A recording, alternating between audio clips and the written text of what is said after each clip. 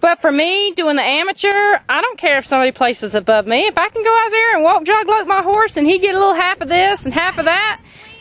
I mean, he's not for sale. He's for my enjoyment. Yeah. You know what I mean? So I don't care if something like Tucker beats him. I went out there and I had fun with my horse, and then I'm going to do some, you know, if he's big enough, two year old stuff. And then, you know, it's just for my.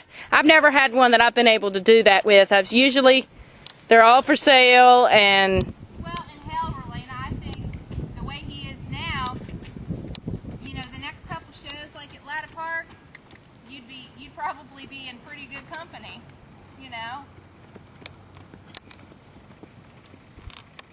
I mean, I'm not like trying to take him to the NSBA World or any of that stuff. I mean, yeah, well, and you know, yeah, you haven't been working on him since January. No. So I think he's doing really good for just six weeks' work.